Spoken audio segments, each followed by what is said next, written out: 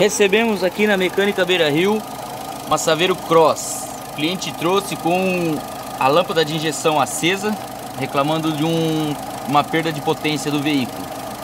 Entramos com o scanner, usou dois defeitos aqui. Fator aditivo da sonda lambda banco 1, mistura muito rica. Mistura rica na sonda lambda. Então, decidimos diagnosticar primeiro, antes de mais nada, cabos e velas. Vê aqui que o cabo número 1 tá ok. E aqui no cabo número 2, olha só. Flashover, fuga de corrente. Olha lá.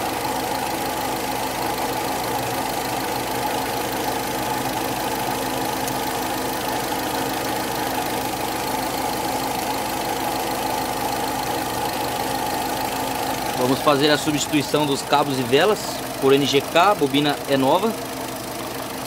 Já recebemos as peças. Substituir cabos e velas dessa Saveiro Cross. E resolver esse probleminha aí.